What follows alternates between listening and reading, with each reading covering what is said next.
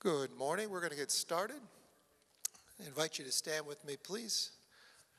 As we do get started, I want to thank Pastor Mark. Um, covered for me in our absence. We had a chance to get away for a couple of weeks, which was nice. And I want to thank the team, everybody that served. It's good, though, to be back with everybody. It's one thing to watch it online, it's something else to be in person with everybody. So glad you're here. In the Psalms, David says, let's see, is it David? Yep, David says, He alone is my rock and my salvation. He is my fortress. I will never be shaken. Find rest, O my soul, in God alone. My hope comes from Him. He alone is my rock and my salvation. He is my fortress. I will not be shaken. My salvation and my honor depend on God. He is my mighty rock my refuge. Trust in him at all times, O people. Pour out your hearts to him, for God is our refuge. Lord, we thank you. Uh, in a world that sometimes goes crazy and uh, people seem to be spinning out of control, you are our refuge. You are our rest for our souls. And we thank you that as we gather together today, as the people of God, we come together to honor and worship you we thank you for the freedom that we have to do that. We thank you for the grace that you've shown us through Jesus Christ, your Son, that allows us to come before you in faith, to believe that it is by grace we've been saved through faith and that we now have access to you. We pray, Lord, that the service would be crowned with your presence, that, Lord, you would draw us ever closer to the cross, where you, O oh Lord, through your Son, paid the price for our salvation. You indeed are our rock, our refuge, our shelter. In Jesus' name, amen. If you're comfortable doing so, you may remain standing, or if you prefer to sit, we're going to spend some time giving praise to God.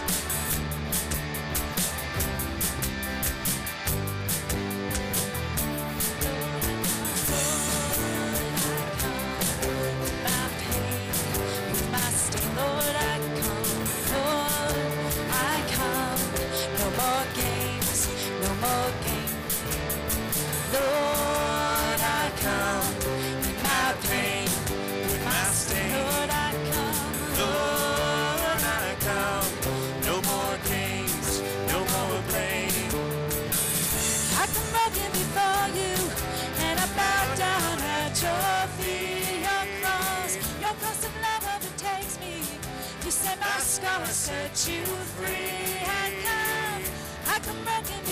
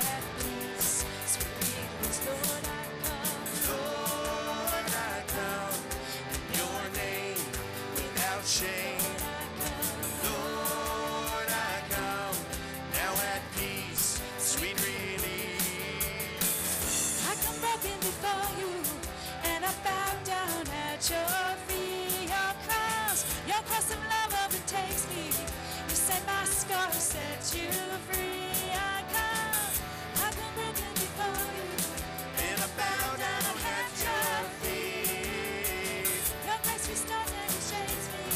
You say, oh, oh, "Only just be."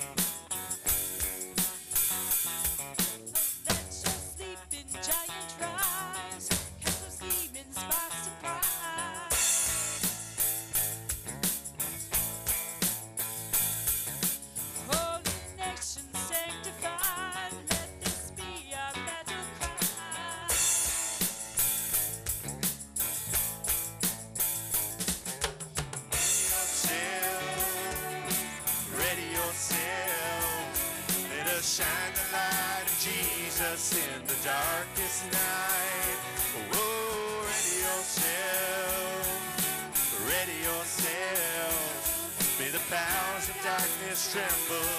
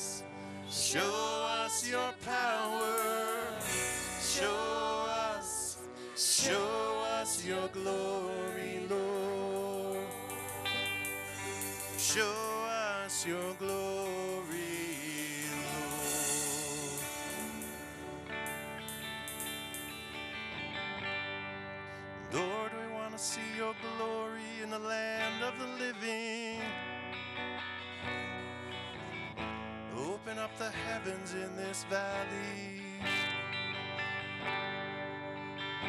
Show us your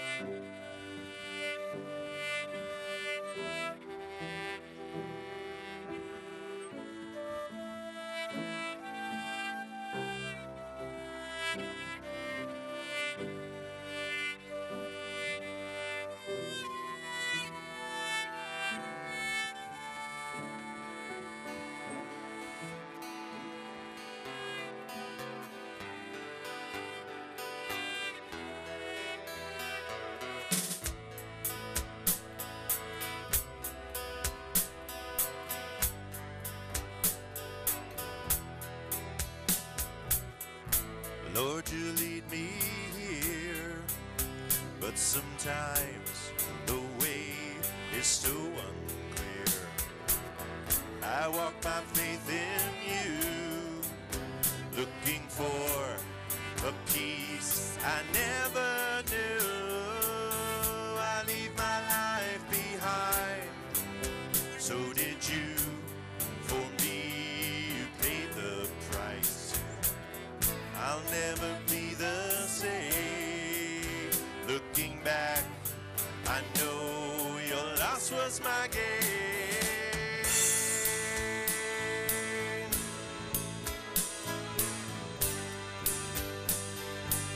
This was my game.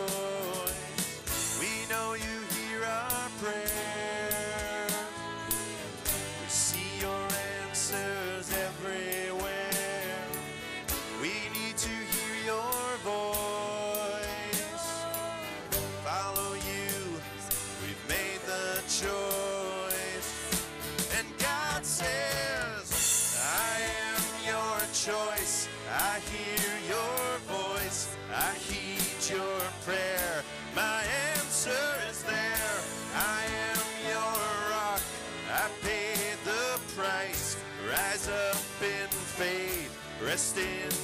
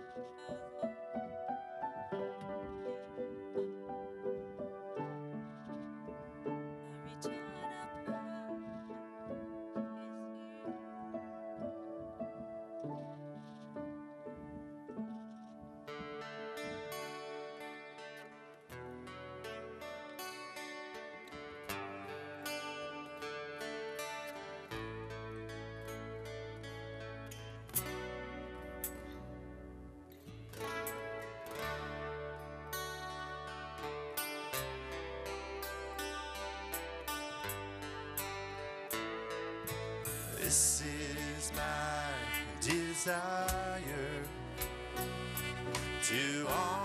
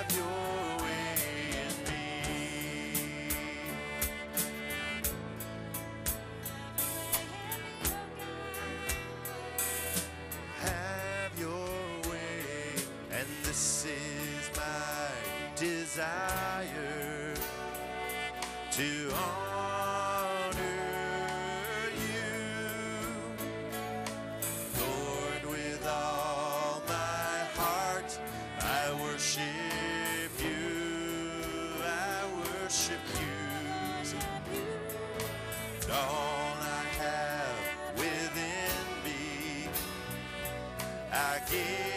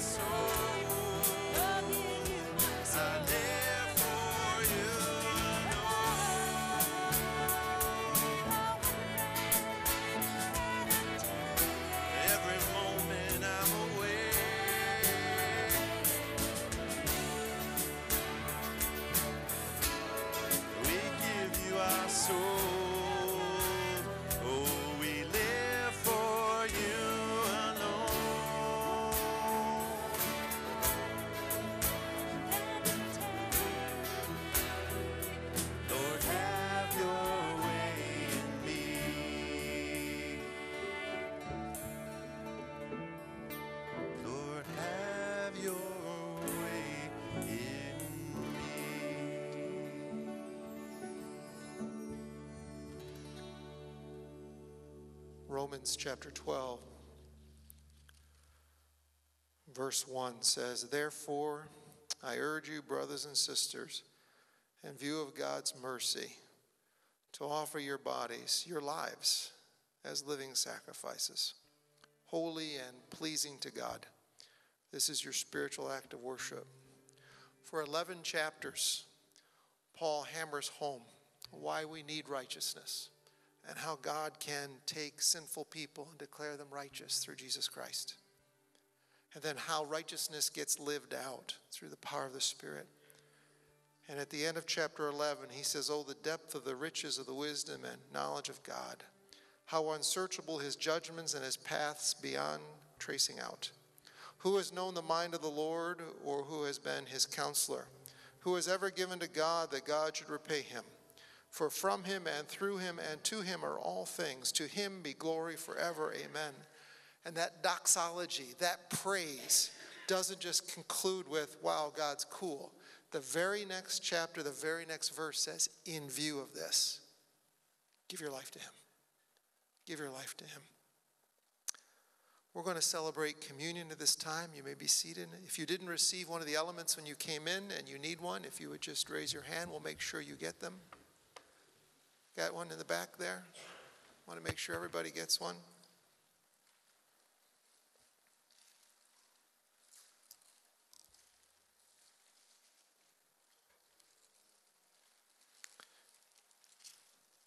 In view of God's mercy. The bread and the cup remind us of the incredible price that was paid to purchase our salvation, to redeem us, and pay for our sins. The Apostle Paul, in his letter to the church of Corinth, 1 Corinthians 11, says, I received from the Lord what I also passed on to you that the Lord Jesus, on the night he was betrayed, took bread. And when he had given thanks, he broke it and he said, This is my body which is given for you. Do this in remembrance of me. What a shock that must have been to the disciples. They thought they were just going to celebrate the Passover again, like they had every year that they had been alive. But Jesus takes the Passover where God brought his people, Israel, out of Egypt, and he now reinterprets it in light of his coming death that now God is going to bring a greater deliverance, not just from bondage to Egypt, but bondage to sin.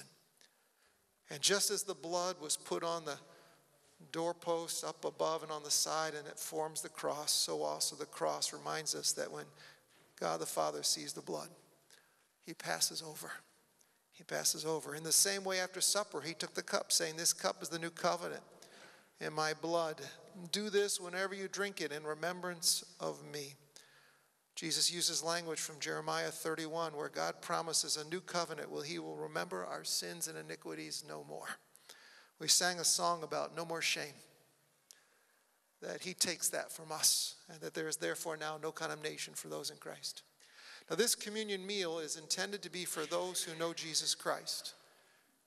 Doesn't mean you need to be a member at Calvary Assembly, but you do need to be a member of Christ's body.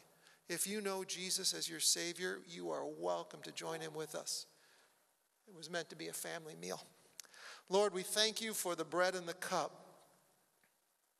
Continual reminders for all of these years of the incredible price that you were willing to pay to take a wayward people, prodigals, to bring us back to yourself so that we are orphans no more.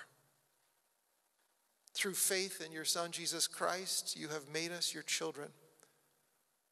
And through your Spirit, we can cry, Daddy, Father. You took those of us who are alienated from you, dead in our transgressions and sins, without hope and without God. But because you're rich in mercy, you made us alive through Christ Jesus. By grace, we have been saved. Not through works of righteousness we have done, but through his work of righteousness at the cross. Oh God, may we never become so familiar with this that it just becomes an empty ritual. May there always be a freshness when we celebrate the Lord's Supper. Because it's not just something we do to remind us of what happened. It says we do this, we proclaim the Lord's death until he comes. We declare not only did he die, but he rose again, ascended to heaven, and is coming back again, King of kings and Lord of lords. So, Lord, we bless you. We pray that all that this meal was intended to convey, we would receive by faith. For we ask it in the name of Jesus, who taught us to pray Our Father, who art in heaven.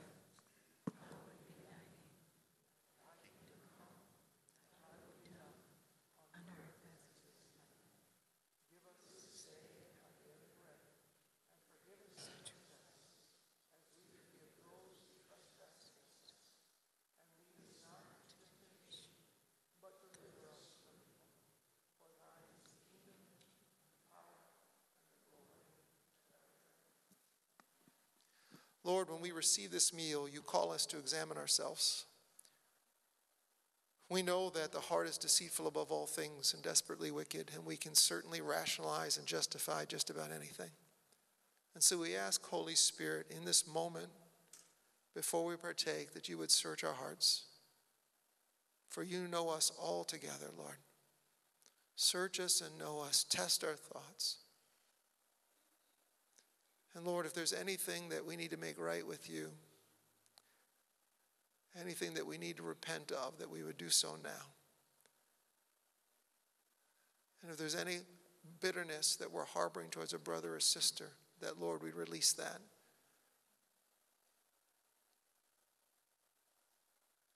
That we want you to forgive us as we forgive those who've trespassed against us. We want to live clean slates, Lord. Thank you.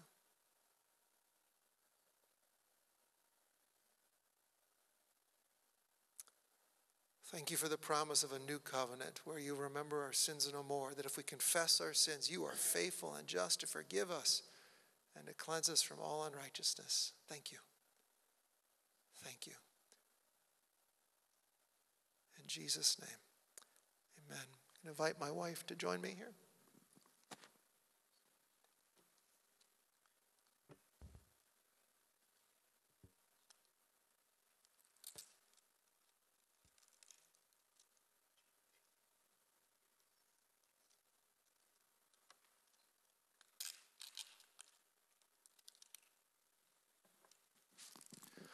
The bread of life gives us his life. Let's eat together.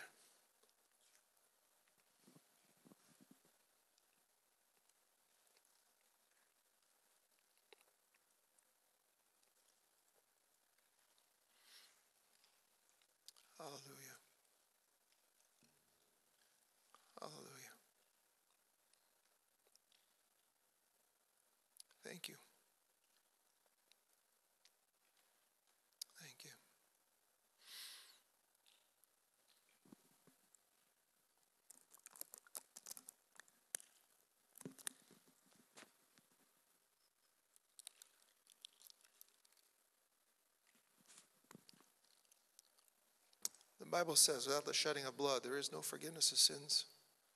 Jesus paid the price for us, and by his stripes, we're healed. So as you partake drink, remember what he has done for you. Don't forget his benefits, that he forgives all your sins and heals all your diseases. Let's, by faith, lay hold of all that God has for us. Let's drink together.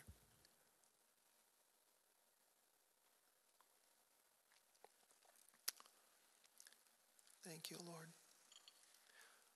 I'm just going to encourage you to sit there in an attitude of worship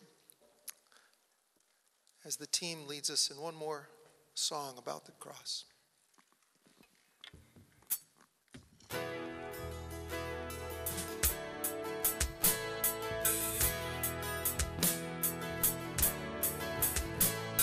despised and rejected, a man of sorrows was he.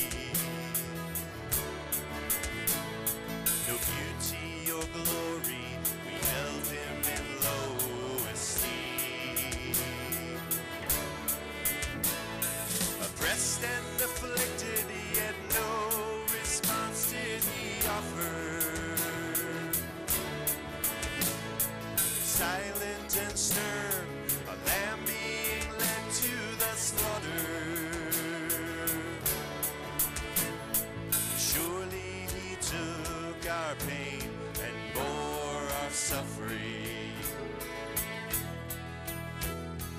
Punished by God and stricken, was our offering.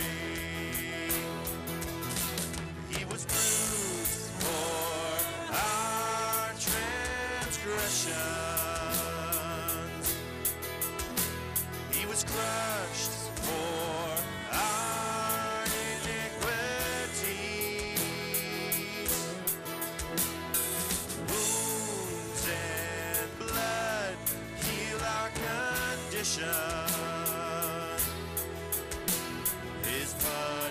Punishment has brought us peace.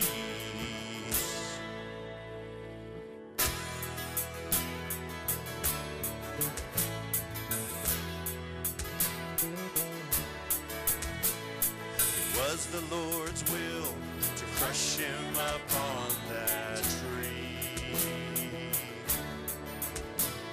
A righteous servant,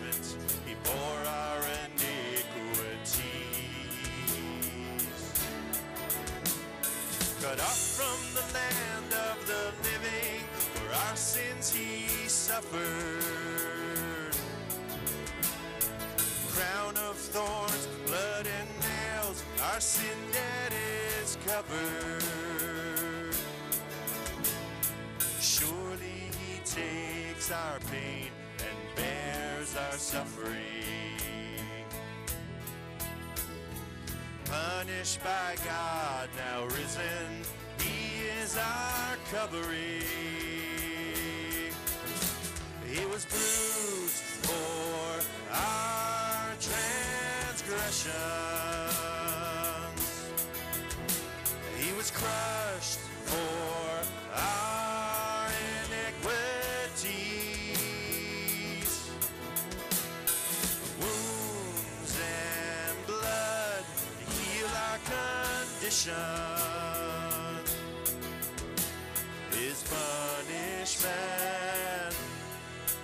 brought us peace. His punishment has brought us peace.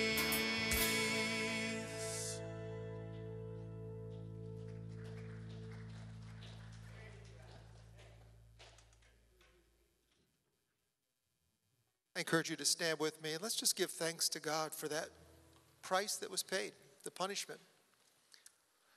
Lord, we want to thank you. We want to thank you. You had every right as the creator of the universe when humankind failed you to turn your back, to eradicate everything. But you had mercy.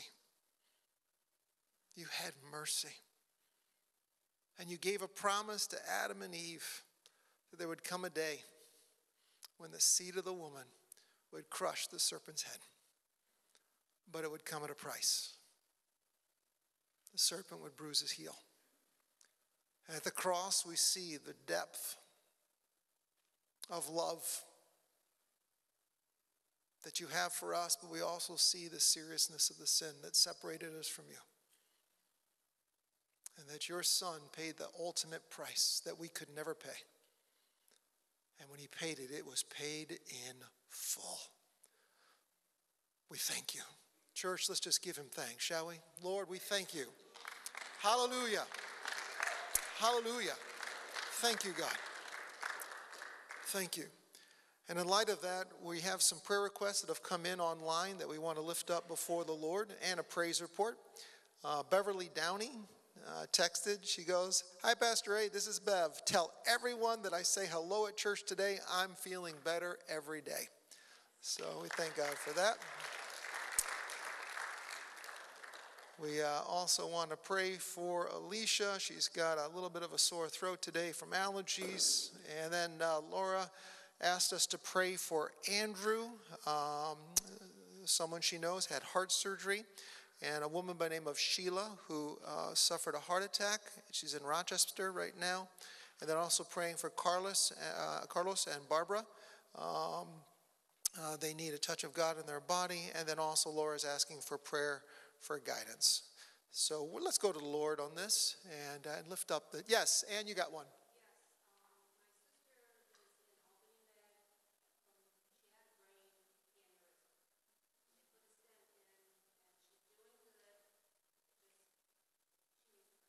Okay, your sister's name? Phyllis. Okay, we're going to make sure we pray for Phyllis. Anybody else? Marcia, can you come on up to? Oh, actually, you can't. Never mind. I forgot. You're still recovering from the knee surgery. Do you have something, Becky?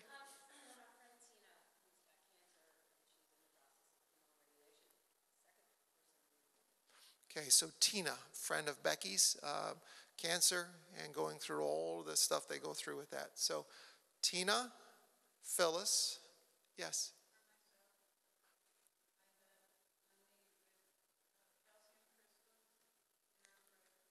Okay, so for you, Anne, and then if you can remember Sheila and Andrew, and she's starting to write them down. Carlos and Barbara, Laura. You know what? God knows, and everybody here remembers. So let's look at the prayer list if you could.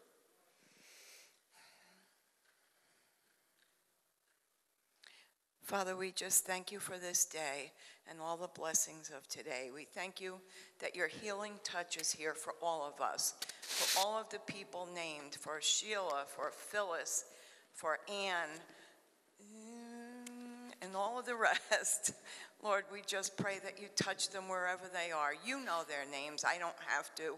I just have to pray for their their touch from you. Um, you know their affirmities, you know their struggles, and you know of all the unspoken ones in here today.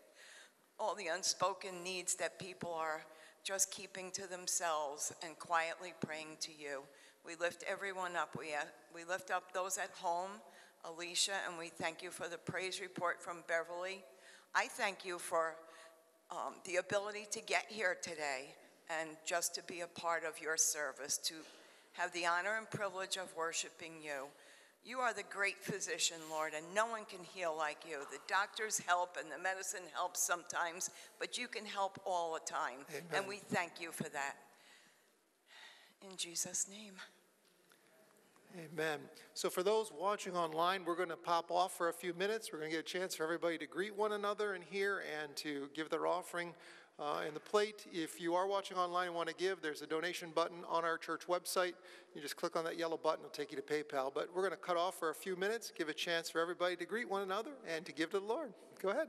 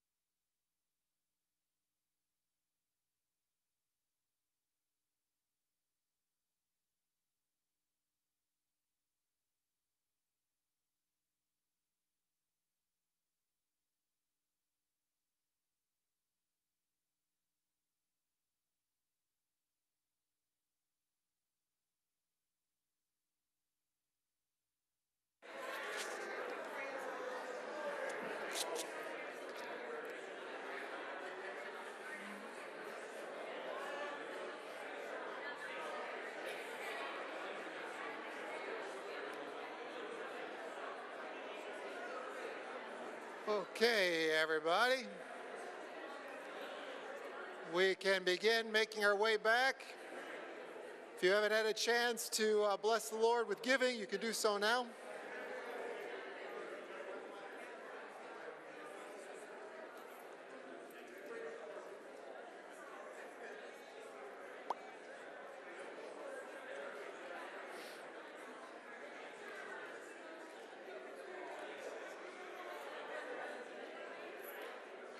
Okay, folks.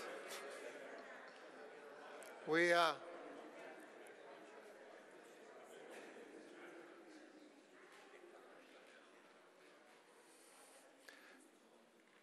just a couple of brief announcements. In your bulletin, where is there's Don Becker? Don, Anything needs to be said about this?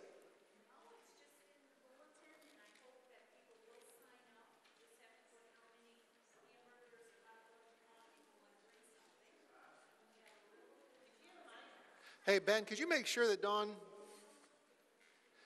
Yeah, oh, no.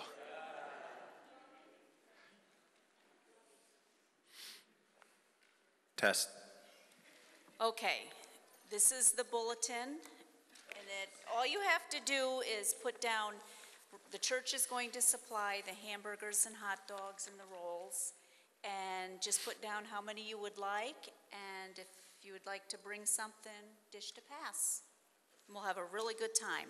That's next Sunday. Next Sunday, after church. So we'll do our service here first, and then we'll go just around the corner on 145 to Gobbler's Knob and have a all-church picnic. It's been a long time since we've been able to gather to fellowship, to eat, and to have some time, and so we wanted to do that. And Gobbler's Knob allows us to use their facility. They're, uh, they bless us with the pavilion, and then if you want to play miniature golf, it's one price, and you can golf all day. Uh, I think it's $8 to be able to do that. So please sign up. It'll give us a chance just to sit around the tables and talk and chat. I mean, we can do a few minutes here, uh, but it's just not the same as sitting and eating and, and enjoying and laughing together. This Wednesday for Facebook Live, I'm going to be talking on the spiritual discipline of celebration. Uh, spiritual disciplines are exercises that we do that the Holy Spirit uses to train us to be godly. And one of those spiritual disciplines is celebration. How do, when you look in the scripture, you find that God gave his people so many opportunities to celebrate in the Old Testament, different festivals where the whole purpose was to come and just celebrate. And so we want to give an opportunity to do that next Sunday, but I'll talk a little bit about that Wednesday night. Now, looking ahead, this Friday, Saturday, uh, most of you probably already know by now that Franklin Myers went to be with the Lord uh, while we were away. Uh, 90 years of age. I had a chance to see him on Saturday uh, before we left, and he had passed one week later. Um, so we're going to be doing the burial this Friday at 1 o'clock at the Cobleskill Cemetery. It's open to anybody who wants to come. And then the memorial service will be held here Saturday. And Franklin's Desire, uh, Don Clubb used to pastor over at the Fusion, or was the Wesleyan Church, it's now Fusion. Um, he's asked that, uh, Franklin asked that the two of us could do his service just like we had done his wife's service. So Don and I are going to celebrate together. Uh, looking forward to that. Franklin had quite a life, and to the very end, he had his wit about him uh, and that little smile, a crooked smile of his. Um, so we want to make it a time of celebration. If you could um, help us out, uh, where is Linda? There's Linda. Wave hysterically, Linda. There we go. Um, Linda coordinates all our meals for the funerals, and so if you could see her, if you could help us out, we're going to anticipate probably around 40 or 50 uh, people that will be staying for the meal uh, on Saturday. And so if you could see her, if you could help out with some dishes like that, that would be great. Uh, and also, we could use some help set up and take down. We want to make this special. We've got family members. Hmm? Oh, it's all done there. Good. So we just need food. So I know it's a jam-packed weekend, but you just can't tell people when they can die or not die. You know, it just. So we're going to. It's like yesterday. I went to a funeral in the morning and a wedding in the afternoon. Uh, talk about different emotions. Yesterday we had a chance to celebrate the life of Terry Bardis's mother, Wilma Miller, who at 94 years of age went to be with Jesus. And what a heritage yesterday. Her children, her children's children, and her children's children's children from literally all over the world gathered together to give praise to God for this woman of faith and the legacy that she left, like a ripple in a pond. that just affected for generations of people. Um, and Franklin also touched a lot of people, so we're- expecting a number of people to be here. So if you could help out, that would be wonderful. And last, yes, Linda? One. Service is one. Up, it's one o'clock. Wrong time. There, it's one. Both of them are one. Yep, yep. Both of them are one o'clock. So one o'clock with the luncheon to follow. Yep. So one other announcement. Where is Debbie? I don't. Thank you, Debbie. For the last couple of weeks, she has been helping to coordinate. Uh, we're part of the summer feeding program here in Cobleskill, along with several other churches. We provide a meal for families and for individuals uh, from 12 to 1. It's over at the Cobleskill United Methodist Church, and our days are Tuesdays. And I know that there's an insert in the bulletin. If you would like to help us out with that and have not yet turned in your form, if you could do that, uh, you can just leave it on the table in the back, filled out. That would be great, or get it to me following the service. Uh, we usually need about five volunteers, is what they ask uh, every Tuesday, and we'll be doing this through the summer. It's a wonder way for, wonderful way for us to be the hands and feet of Jesus. We sang a song about that, to the whole world knows. Here's a way for us to feed the hungry in the name of Jesus. But I want to thank Deb and her team for the last couple weeks. And you're going to be there Tuesday, I believe. Okay, I'll be there as well. But if you want to help out, let us know. I think that's all I need to cover. Oh, after service, yes. We're going to be doing a special uh, program for the kids in August, I believe, um, kind of like a fun night or something like that. And we're going to be doing some planning. Those of you who are part of that should know that, right? Okay. You just want me to remind those people that know they, about this that they're. Okay, immediately following the service. Sounds good. Uh, Diane already took care of that. I feel like that puppet thing again. You know? I'm the dummy, she's doing the talking, so we're good. Um, so it is good to be back. Now, you do know there's a danger to me being back. I haven't preached in a few weeks. 11 o'clock. Let's see if we get uh, lunch at 4. So we're good. Now, I'm going to ask uh, Ben if you come forward for our children's message. Um, we are starting a new children's ministry this September, second Sunday of September. Looking forward to that. But until then, we've been doing some children's messages, and my son, who's been an intern here at the church, is blessing us with it. So go ahead, buddy. Good morning. So before I start, I also have an announcement. Um, I will be going away on a trip with my brother and a couple of friends. Uh, some of you already know this, but we made the bright decision to go to Phoenix in July. So um, keep us in prayer for traveling mercies and, you know, just for a safe trip all around. I'd appreciate that. Alrighty. I need a child volunteer. Don't need to get up, just need to raise your hand. This is the fun part. Grandma. Caden, who are you? Caden Verderber. What do you like to do? Bike, swim, read, hang out with friends. So, would you eat? Amen, brother. You're in the right church. So that is that is who you are. That's your identity, right? So, what's your name? Your name's Kieran. What do you like to do? Same things? So, despite the fact that you do the same things, you're still two different people, right? You have your own identities, right? You're not like all the same. I mean, I know you dress similar sometimes, but you're not all the same, right? Caden, would you want to be Kieran? You wouldn't want to be Kieran. Kieran, would you want to be Caden? All right, so you each have your own identities, right? Who are those two people? The, the one sitting next to you. That your mom and dad? Is your identity as a son of your mom and dad? Are you, are you your parents' son? Yes, that's the good answer. So that's what your identity is, right? So I went to a wedding this past weekend for a couple of dear friends of mine from college, and I had the privilege of being an usher. It was for Nathan and Mariah. Now, their identity, as of yesterday, is of husband and wife. They are married now, right? And so when they get married, they have a change in identity, right? They, in, at least in part, they stop being, you know, single and, you know, I don't want to say by themselves, but they, there's a little bit more solitary. Now there, there's, there's a partnership going on, right? So when we become a Christian, our identity becomes in Christ, right? Now, you're your parents' son. That's never going to change, right? And uh, with the wedding, they weren't always married, but God willing, and I do believe God's in this marriage, God willing, that will never change too. Their new identity is, at least in part, in each other. But our identity ultimately comes from who we are in Christ. And so sometimes we become Christians, and this is following up with what we talked about on Father's Day. Sometimes we become Christians and we forget that we are Christ's sons and uh, God's sons and daughters, right?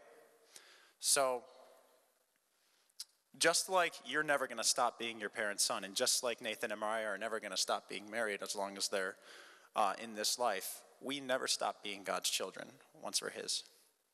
And that's important to remember when we go forward in life. So, with that, I'm going to turn over to my dad. If you have your Bibles, if you'd open to the book of Galatians, it's a New Testament epistle by Paul, Galatians chapter 3.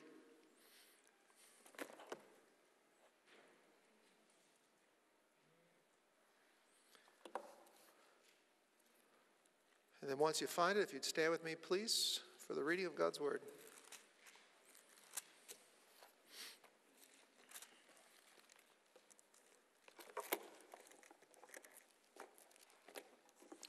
I want to read verses 26 through 29.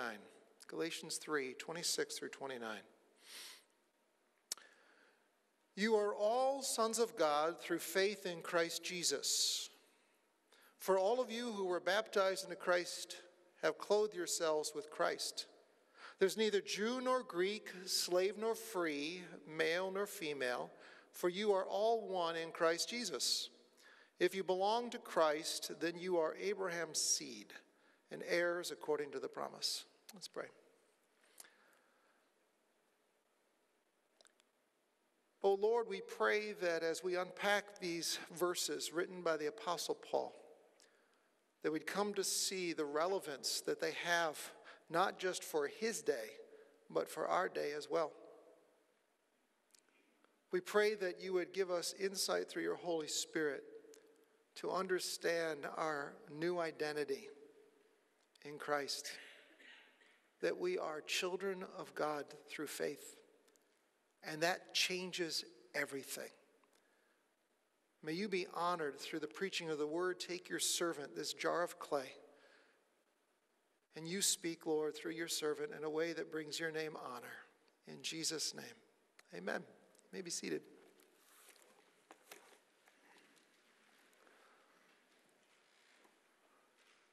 Your ID, please. Your ID, please. We heard that request or some form of that request repeatedly during our first week away as we did some sightseeing in Washington, D.C. and Virginia. No matter what venue we visited, they wanted some kind of proof some kind of pass, some kind of barcode, some kind of QR code on your smartphone, some kind of ticket, something to prove our identity. I'm wearing the one that we had from Colonial Williamsburg. You can see it on the screen. Now, because of lingering COVID protocols, you couldn't just show up and get a one, get a ticket. You had to order in advance because they were limiting the number of people that could be in any venue any one time. With this pass, we were able to go to every one of the historical sites that had been restored in Colonial Williamsburg. Without it, you didn't get in. And we saw a family try to get in to the Capitol without a pass. They were not successful. It Takes these. Not only, though, did you need a pass to get into the event, some of the venues required another pass once you got there to do anything special in that place. And you had to get that in advance, and it was timed. So if they told you at 12 o'clock, that's when you had to be there with your pass. your secondary pass. So it didn't seem to matter where we visited, your ID, please. Then when we went to the two hotels that we stayed at, yeah, Mount Vernon, we ran to that one to make it right on time. Yeah. You remembered. Okay. okay. So we go to the hotel. Now, I had prepaid, pre registered, and done everything. And yet I walk in the hotel, ID, please, and credit card. And in the first hotel, there was a security guard standing there. I had to make sure I had ID or I wasn't spending the night. And then when we went to see Museum of the Bible, we parked in a parking lot underneath the federal building. And you know what they did? ID, please. I had to show my photo ID. No matter where I went, I needed an ID to visit, to sleep, to park. But I didn't hear anybody complain. I didn't hear anybody murmuring because they had to show a pass. I didn't see anybody murmuring because they had to produce an ID. No controversy whatsoever. Everybody seemed fine with showing their ID. Contrast that, though, to what's been going on in our country over the last, say, 20 years or so, when you use that request with regards to voting. Your ID, please. You will get a lot of pushback and a lot of controversy. There are those that believe uh, ID of some sort is necessary to maintain the electoral integrity uh, in our elections. There's others looking historically say, no, it's just another form of suppression, adversely affecting people of color and minorities. So, a lot of argument, a lot of debate, heated debate. Don't worry, I'm not going political today, I'm just using it as an illustration. Although, while we were away, we caught the news, and it looks like there seems to be a, somewhat of a growing consensus in terms of some form of ID to vote. But where there isn't consensus and where we're seeing recently an increasing division in our country has to do with another form of ID. Not an ID like this that gets me to Williamsburg, not an ID that allows me to vote, but self ID. How do you identify yourself? How do people identify themselves? And there seems to be a growing movement for people to put a lot of adjectives in front of how they identify themselves. Adjectives that define their color, their nationality, their ethnicity, their race, their gender identity, their sexual expression.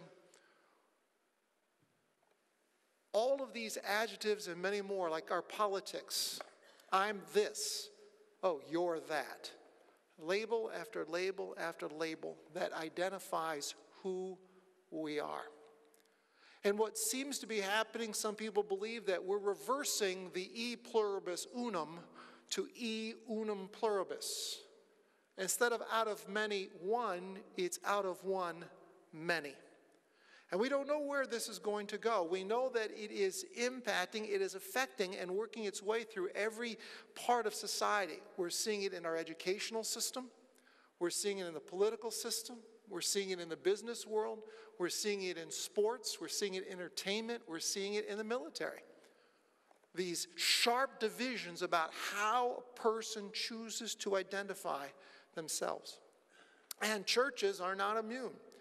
We're seeing, and I did some checking while we were away at news, denominations are splintering, fracturing, splitting over how somebody chooses to identify themselves and how they see somebody else identifying themselves. In fact, on a funny note, when we were away, we saw a church that had its name, and then above it were two adjectives. First of all, they said they were born again which is a good biblical term, John 3, but they were putting it out there, born again, which made me wonder if I wasn't yet born again, am I allowed in your church? Is it just for those that meet that label that are allowed to come? Eh, what about somebody who's interested but isn't yet born again? Are they excluded? But the next word is the one that made me chuckle the most born again, independent.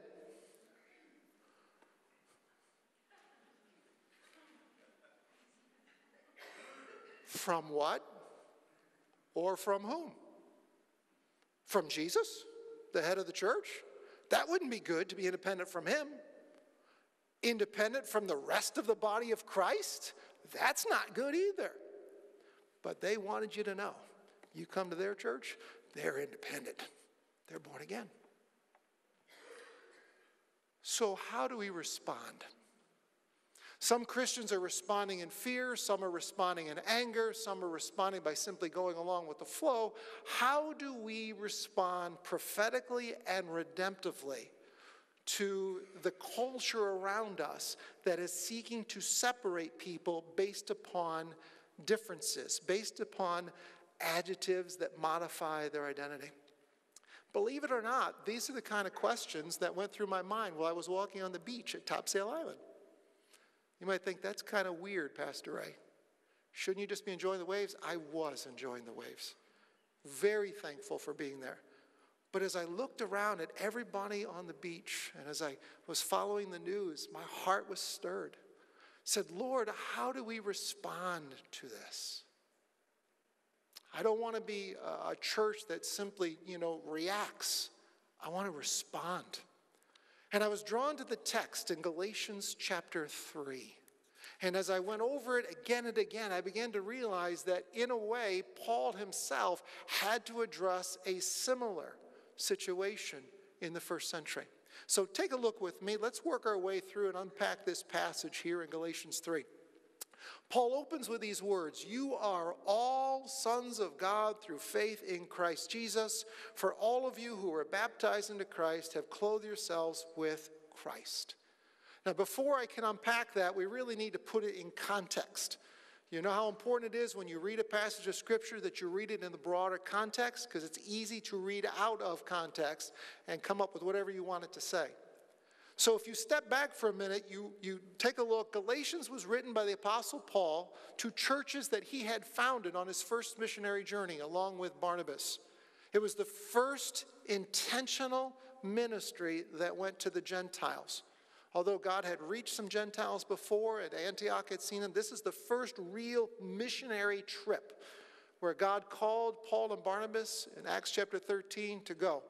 And they traveled all over. They went to uh, to Cyprus, they went to the area of Galatia, which is modern day Turkey, and God was with them. They preached the word, God confirmed the word with signs and wonders following. Churches were established, there was powerful fruit. It was a very successful two year journey from 46 to 48 AD where God was glorified. And so Paul and Barnabas came back to Antioch and they were like, wow, you should have seen what God did. Oh my goodness. We saw healings, we saw salvations, we saw deliverance. I mean, God was glorified. Praise the Lord. And they're having a glory fit. Until Paul gets word there's a problem. False teachers had begun to worm their way in to the churches of Galatia.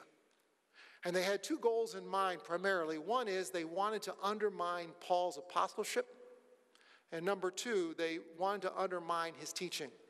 And what they did is they argued that Paul was a defective apostle. He was a derivative apostle. That is, he wasn't one of the original, you know. He got his message from the, from the other apostles, is what they said, and he distorted what they said. You can't trust this guy. We actually need to tell you what he left out. And what they taught that Paul left out is you are a Gentile, you want to be saved? Well, you need to be Jew first, which means you need to be circumcised, you need to follow all those laws because that's the only way you're getting in. This thing that Paul said about faith, mm, he wasn't complete. So Paul gets word of this, and you know, Paul, he's so calm, um, hardly ever reacts. Oh, he goes bonkers, and he writes Galatians and he defends his apostleship in the first two chapters, and then he goes into what the gospel is all about. And what he argues is, is that no, they're wrong. Here's the truth. I didn't call myself to this thing. I was attacking the church, but God saw fit to grab a hold of me and called me to do this kind of thing. And the message I got, I didn't get from the apostles. I didn't download from sermons.com. God gave it to me through revelation by His Holy Spirit. And this message I'm preaching isn't anything new. It was all the way back in the Old Covenant when God called Abraham as the father of faith. It's always been by faith that a person is justified. Habakkuk chapter 2, it's always been that way. It was never by works. And then Paul explains, well, why was the law given? It wasn't given to contradict it. The law was given to show us how sinful we are in ourselves, and it was to lead us to the end of ourselves so that we put our faith in Jesus Christ. It was a schoolmaster, it was a taskmaster. It was there to get us to some place. It wasn't the end. Christ is the end. The end is salvation through Jesus.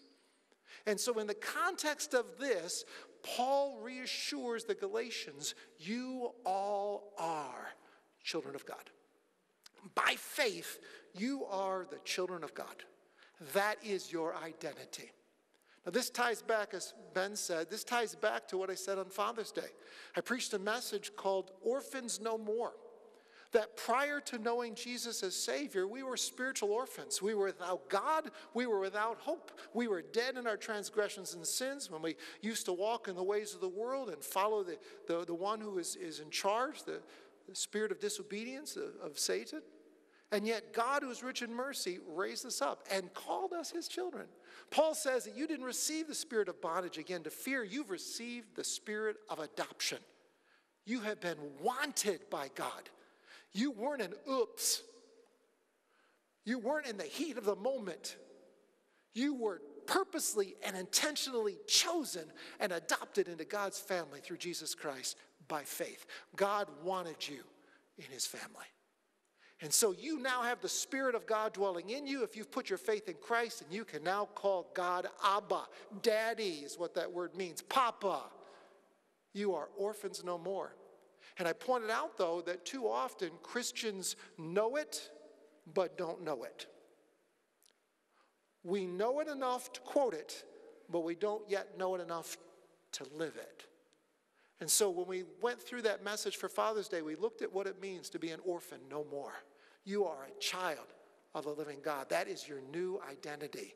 It's a new standing, it's a new position, it's a new nature, it's a new identity that you now have in Christ. And Paul is reaffirming this here in the book of Galatians. In fact, in Galatians chapter 4, he'll reiterate this. He says, when, verse 4, when the time had fully come, God sent his son, born of a woman, born under law, to redeem those under law, that we might receive the full rights of sons. Because your sons, God sent the Spirit of His Son into our hearts, the Spirit who calls out, Abba, Father. You're no longer slaves, but a son. And since a son, God has made you also an heir. So on the back of your bulletin, there's a little fill in the blank under a takeaway. And if you don't want to write this down, in God's family, our identity flows out of whose we are more than who we are. In God's family, our identity flows out of whose we are more than who we are. For Paul in Romans chapter 8 and Galatians 3 and 4, he stresses the new identity we now have in Jesus Christ. We are children of God. And that is the priority label that we wear. That's what matters. And we know that because Paul then goes on in our text and says this There is neither Jew nor Greek, slave nor free, male nor female, for you are all one in Christ Jesus. Paul looks out at a congregation, if you will, in his mind as he writes this letter. And he recognizes that in this church there were some Jewish people, there were some Greeks, Gentiles, there were those that were slave, there were those that were masters or free, there were those that were women, there were those that were men. And in that first century culture, those labels meant something. If you were a Jew, you saw yourself as having special privileges because you were God's people. If you were a master, if you were free, you had privileges that the slave did not. If you were a male, you had privileges that a woman did not. But Paul argues that at the cross, the playing field is leveled. Nobody has a leg up on anybody else. The, the Jew isn't any better off than the Gentile, the slave isn't any worse off than the master, and the male's not any better than the female. Every one of them comes to God through faith in Jesus Christ the same way. So all of those labels no longer have priority in the church. Now, Paul's not arguing absolutely there is no Jew or Gentile. In fact, in some of his letters, he writes specifically to Gentiles and he writes specifically to Jews. He's not denying that they exist. He doesn't deny he writes to men and at times he writes to women. He writes to slaves and at times he writes to those who are free. He's not denying those labels existed in the first century, but what he argues is, is they're not important. What's important is that you and I are children of God. Which means, as I look at my brother Peter, Peter and I have different skin colors. I recognize that. I don't look at Peter and say, hey, I don't see color. Of course I see color. God created him with a different color than I have. But even though we have a different color, we have the same Father. And I look at Lauren. Not only do she and I have different skin colors, we're different sexes. She's female, I'm male. But it matters not as much as she and I are in the same family because we have the same Father. See, that's what matters to Paul in the first century, and that's what ought to matter for us in the 21st century. But how many places do we know that everybody wants to put an adjective in front of? I'm this, fill in the blank Christian. I'm this, fill in the blank Christian.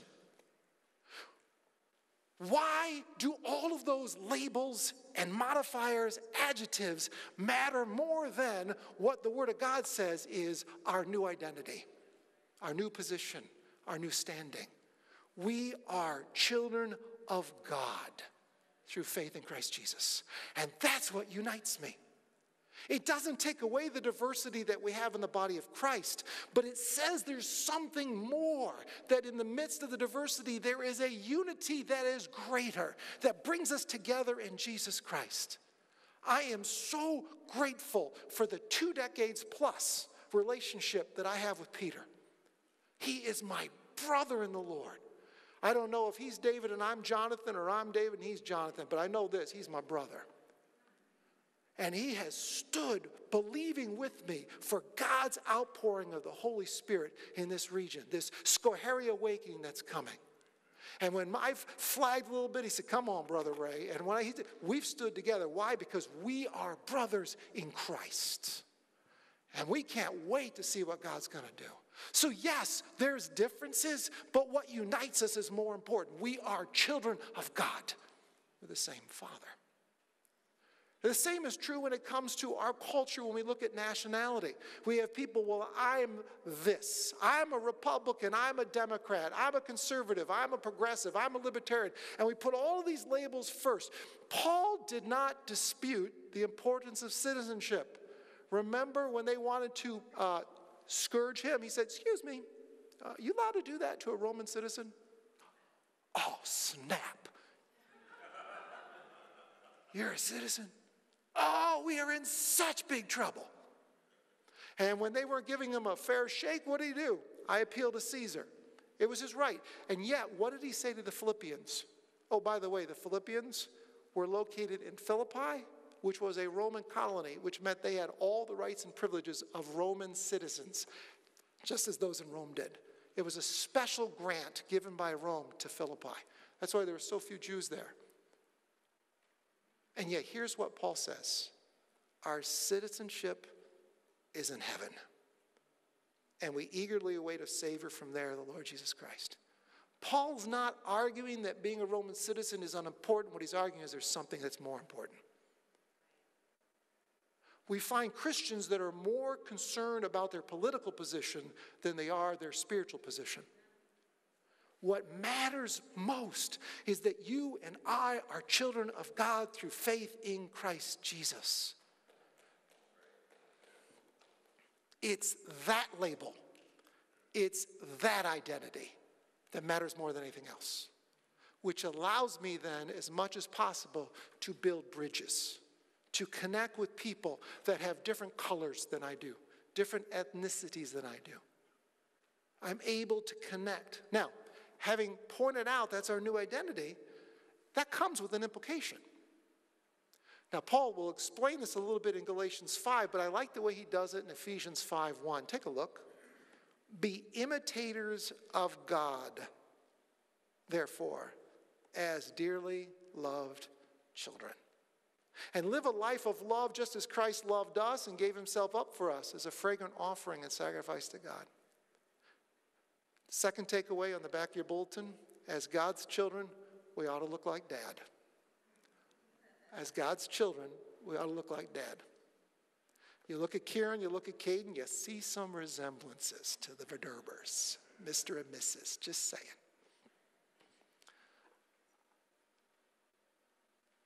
As God's children, we ought to look like dad. Be imitators of God, therefore, as dearly loved children. If I am a child of God, if we have shown from Scripture that is true, and, and it is, then it means it shows up in the way I live my life. It means that all of those modifiers that I want to stick in front of my name have to run first through the sieve of God's Word. Why do I say that? Because God is holy. Peter says in 1 Peter chapter 1, quoting from Leviticus, God says, Be holy because I'm holy. Which means that I no longer allow myself to be defined by my culture around me. The world no longer determines my identity, the Word determines my identity.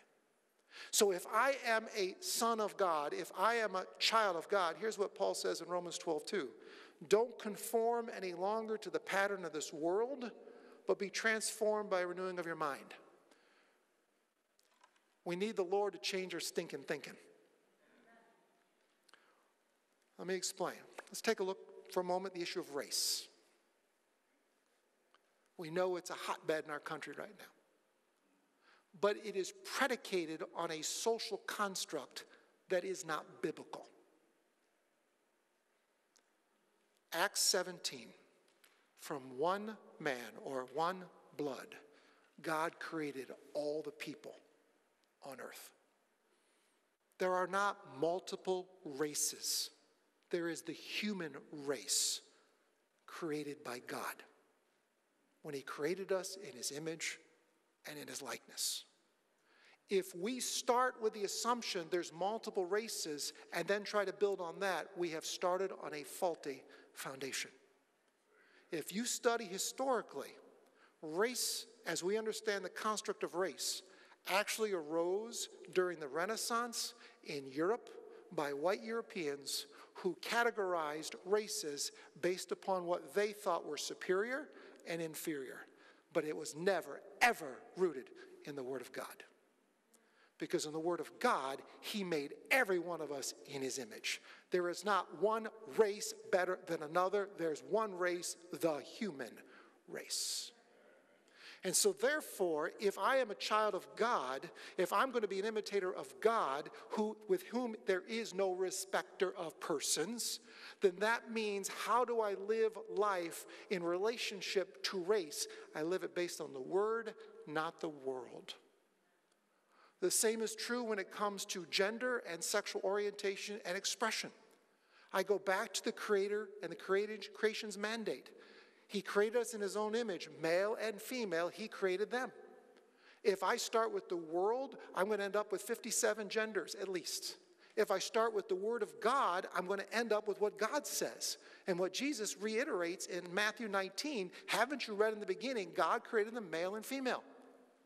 Now, that doesn't mean that I take a club and beat someone over the head. I am to be an imitator of God as holy, but I'm also, as dearly loved children, I am also to live a life of love. There is a balance that we bring together of truth and grace. And sometimes what happens, Christians, at least in my opinion, that what I've witnessed is because they're scared or because they're angry, they react to the culture instead of respond to the culture. They don't navigate with grace and truth. You can stand for truth and still meet people where they are. It's what Jesus did all the time. He didn't start with judge you first, get it right, then come see me. He started with let's meet. He ate with people that society said were unacceptable. I pray that God will allow our church to be a place that people can come in as they are, but then by the grace of God leave different than when they came in. I pray that this is a place that people feel welcome to come. Well, we got to put our adjectives up front. They got to be this. No.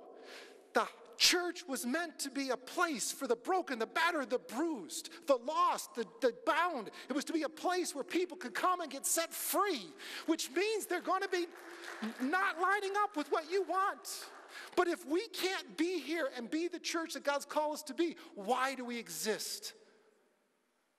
Go to the Lions Club or the Rotary Club if that's all we want to be. But if we want to be a place for the healing of broken people, the vision God's called us to be, then we as the children of God must be the way He is. And the way He is is He came to seek and save that which is lost. He came with a mission to destroy the devil's work. He came with a mission to rescue those who were perishing. He came with a message of hope and healing and wholeness.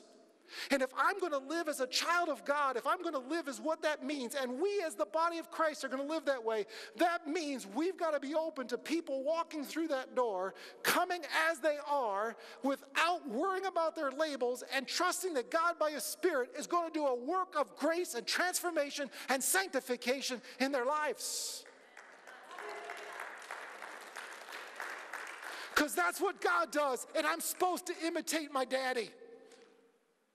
My daddy had every reason to just throw us out. My daddy had every reason to just bring judgment without mercy, to call people out for everything they did wrong and send them to a place of destruction. My daddy had every right to do that because we sinned against him. But my daddy chose not to. My daddy chose to provide covering for Adam and Eve and a promise of hope and redemption that would come through the seed of the woman. And that daddy of mine is calling me to imitate him in the world in which we live.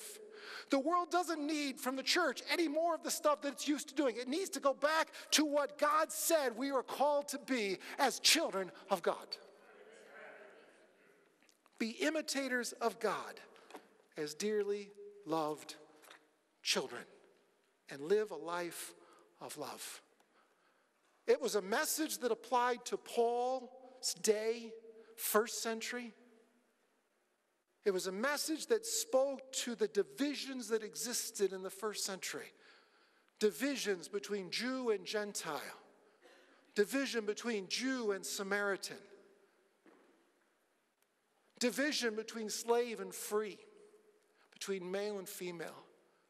It was a message that didn't start with the culture of the world as the basis for discussion and argument. It started instead with who God is and whose we are in God. And if that's the way they did it in the first century, and I don't know about you, but I think it worked. We're here because it worked. Should we not return with a voice of hope, a prophetic voice of redemption to a culture that right now is spinning out of control with adjectives upon adjectives?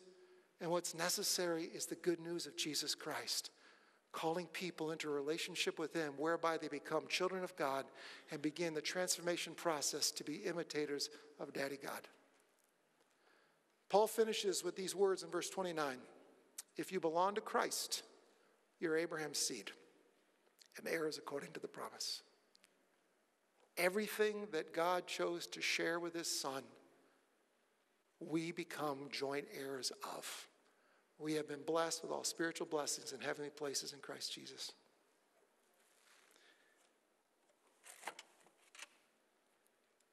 This got me into Williamsburg.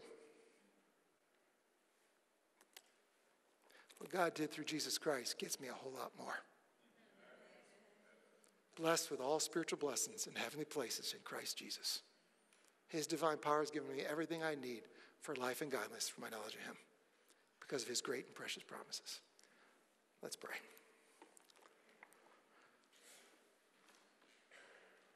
Lord,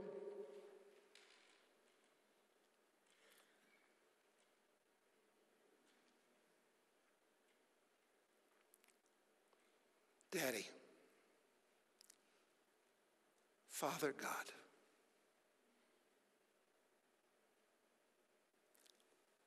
I believe, Lord with all of my heart that the best days for the church are not behind, but ahead. As you raise up a people of God across the land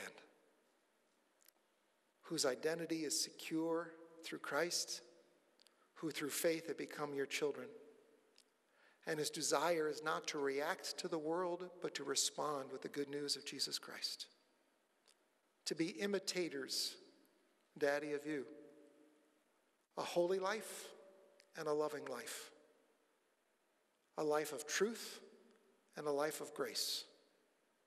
Not one or the other, but both and, in a prophetically redemptive way. Calling those around us to a new life in Christ. I pray that our church, oh Lord, would be a place where you can bring the battered, the broken, the bruised, the lost, the bound, the hopeless. And instead of finding judgment, they would find a place of redemption. Without wavering in our stance of truth, they would extend grace just like you did to us.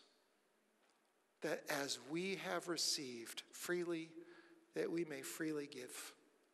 Lord, it means that things could get messy, because that's what happens with broken people. But Lord, you were there for us, and someone else was there for us when we were messy. It's our turn, Lord, to be vessels through whom you work.